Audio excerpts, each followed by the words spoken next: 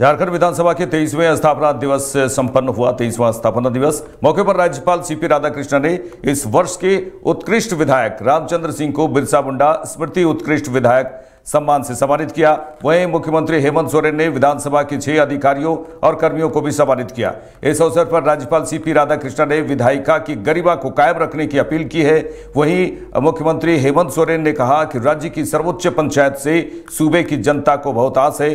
जनता की अपेक्षा और आकांक्षाओं को पूरा करना हर जनप्रतिनिधि का दायित्व है। नेता प्रतिपक्ष अमर बावरी ने कहा कि जनता की ज़्यादा से ज़्यादा मुद्दे पर विधानसभा से परिणाम निकले, यह हम सबों की प्राथमिकता होनी चाहिए। उत्कृष्ट विधायक से सम्मानित रामचंद्र सिंह ने अपना पुरस्कार क्षेत्र की जनता को समर्पित किया We all know once we got elected as a member of the state assembly, we got two main duties. There are two main duties inside the assembly, there are one main duty outside the assembly. We should not get confused with both of the things. The main duty inside the assembly is we should maintain the dignity and the of the house at all times. That is the very first uh, duty of every member of the legislative assembly. The second duty is that we all must work together for one single cause with one single aim that is development, development, development. Of course, in democracy, we cannot avoid elections and we cannot avoid uh, fighting the elections on the party lines. हज़ारों लाखों लोग मिलकर अपना एक प्रतिनिधित्व इन जगहों पर भेजते हैं काफ़ी आशा उम्मीद के साथ यहाँ तक कि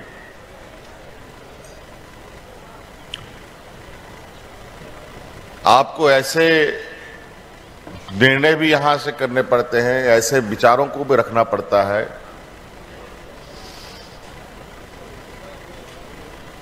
जिनकी आवाज़ें जो ना बोल सकते हों, ना आपके साथ रहते हों, उनकी भी आपको आवाज़ बननी पड़ती है।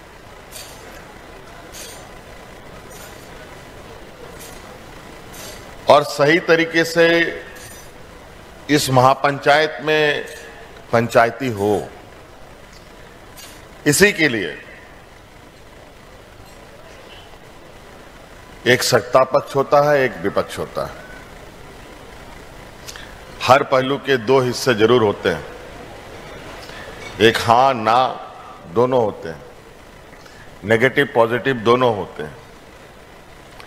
आज हमें हर हाल में इस लोकतंत्र के इस महापंचायत को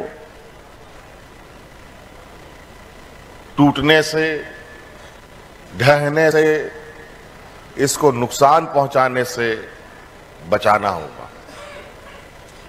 यह झारखंड का निर्माण हुआ, उस तमाम लंबे आंदोलनों के परिणाम स्वरूप जो यहाँ के जल जंगल ज़मीन से जुड़ करके यहाँ की भाषा, यहाँ की संस्कृति, यहाँ की परंपराएँ यहाँ के रहन सहन यहाँ के खान पान को विशिष्टता के साथ, इसके संवर्धन के लिए, इसके संरक्षण के लिए जो हमारे पूर्वजों ने, महापुरुषों ने धरतियाबा बिरसा मुंडा जी से लेकर के सिद्धू कानू, तिलका माझी, कई एक फूलो जानू से लेकर के वीर बद्दू भगत, कई एक लोगों ने अपने जीवन का अमर बलिदान दिया। मरांगोम के गोपाल जयपाल सिंह मुंडा, जयपाल सिंह से लेकर के, यहाँ तक की जो सफ़र हुई है और 2015 नवंबर को जब यह झारखंड अलग राज्य बना सरदय अटल बिहारी वाजपेयी जी, आदरणीय प्रधानमंत्री जी, उस समय थे। और तब से लेकर के आज तक की यात्रा में यह विधानसभा ने कई एक महत्वपूर्ण विषयों पर इस राज्य को नेतृत्व प्रदान किया है। यह विधानसभा कई एक ऐतिहासिक क्षणों का गवाह भी बना है। तेईस साल के इस निर्माण काल में हमें एक भव्य विधानसभा का भवन भी मिला है। और इस भवन को हम अब राज्य के पहचान से और उसकी अस्मिता से जोड़ करके भी देख रहे हैं।